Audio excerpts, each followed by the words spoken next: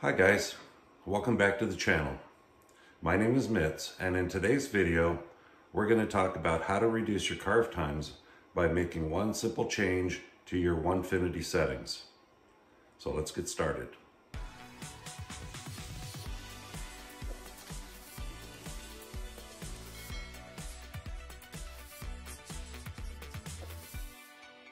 Before we begin, we need to ensure that our units of measure are set to metric. So go to settings, change it to metric, save it. The units that we're going to be uh, adjusting today is going to be to the max jerk. The max jerk is uh, defined as the time rate of change of acceleration. Don't ask me to explain it. I'm not uh, a physics major, but uh, there's a very good uh, video that I even understood, and I'll put a link to that video uh, in the description below. All right, I just loaded this uh, file called frame, and the frame's 12 by 14, three quarter thick. It's a finishing file, it's a 3D file. And as you can see here, the time to carve is two hours, 46 minutes and 59 seconds. So two hours and 47 minutes roughly. And uh, the setting here for my jerk is set to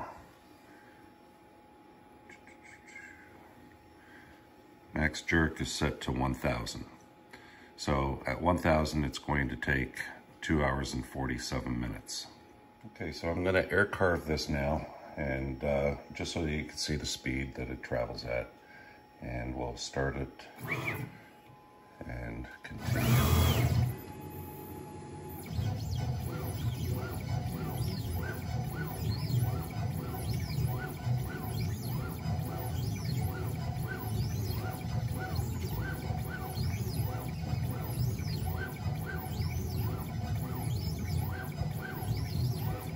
Okay, so that's at a thousand jerk.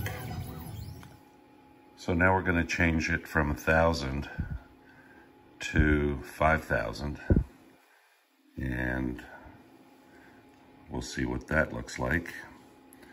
And we'll pick this up, change that to 5,000, enter. That's for motor zero. Motor one will do the same.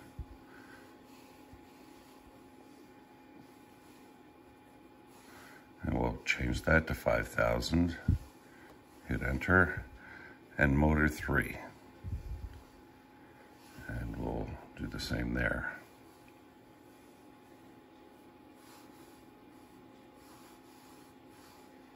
Five thousand. and we'll hit enter. We'll save those settings and we will go back to the control screen. We'll reload the file and we will see what uh, we'll see what the time frame is and I'm going to just change it to a different file and then come back to that frame finish.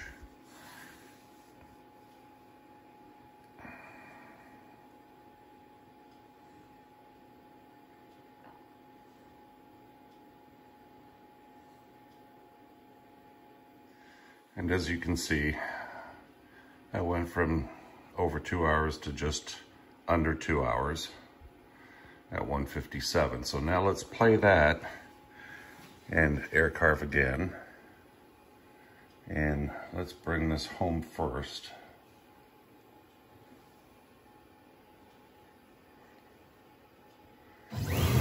Okay, and now we'll start the air carve again.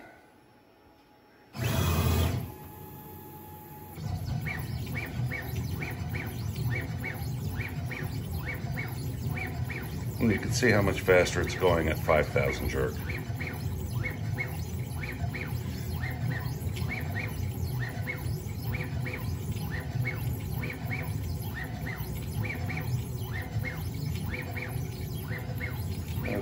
Stop that and we'll return to home. Okay, so now let's uh, take that up to 10,000 jerk. So let's go back to motors. And that's at 5,000 jerk. So 10,000 jerk. We'll enter that one for motor zero, motor one.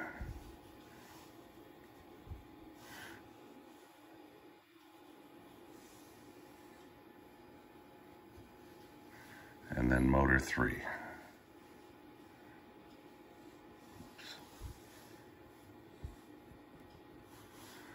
we'll do 10,000 jerk. Okay, we'll save that. We'll, again, change out the file and then come back to it.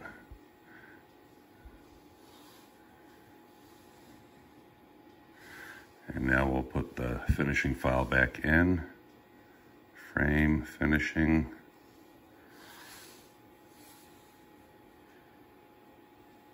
Okay, so now that that's loaded, we come up here and we can see that uh, it went down again to 142.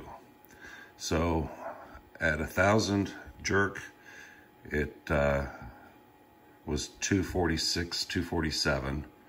At 5,000 jerk, it came down to 157. And at 10,000 jerk, it came down to 142 and a half. So now let's uh, go ahead and play this one and uh, see how much of a difference you can tell.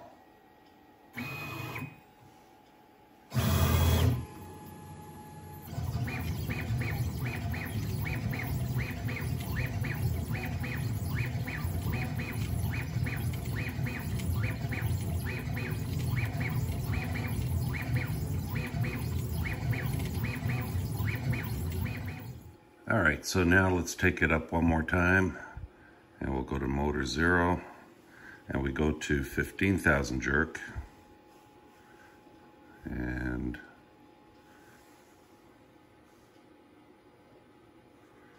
enter motor one, same thing.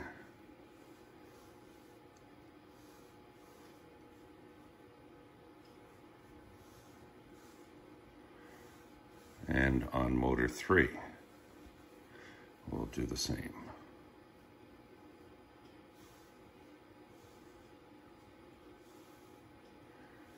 And then we'll save that.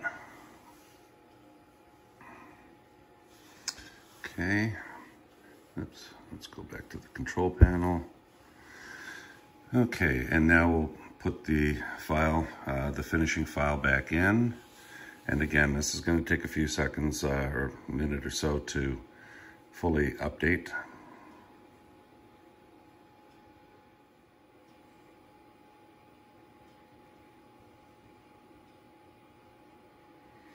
Okay, and at 15,000 jerk, it comes down to an hour and 34 minutes and 56 seconds. Just to point out, um, I didn't adjust the feed rate in any way on any um, of the different jerk settings. So the feed and feed, feed and speed um, and plunge all remain the same. The only difference is the uh, change to the jerk settings. So let's uh, take a look at this one and see what uh, what that looks like.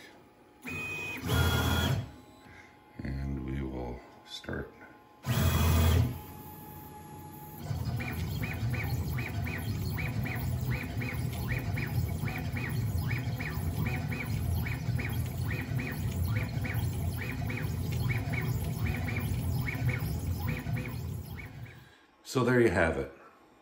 When you get your Onefinity, the max jerk settings would be set to 1000. And for my particular file that uh, we covered today, that's 2 hours and 47 minutes. By increasing the max jerk to 5,000, that carve time went from 247 to 157, an hour and 57 minutes. Further increasing it to 10,000 shaved off an additional 15 minutes of carve time. And then from uh, 10 to 15,000 uh, takes off an additional 8 minutes or a total carve time of an hour and 34. I wouldn't recommend going beyond the 15,000. As a matter of fact, Onefinity recommends not going beyond 15,000. And uh, quite honestly, the machine does really move that fast. Uh, I normally run mine at 10,000 um, only because there isn't a significant amount of uh, uh time savings between 10 and 15. However, on occasion, you might want to take it there if you're doing extremely long, uh, long carves. Anyway, you guys have a great day, and we'll see you on the next one.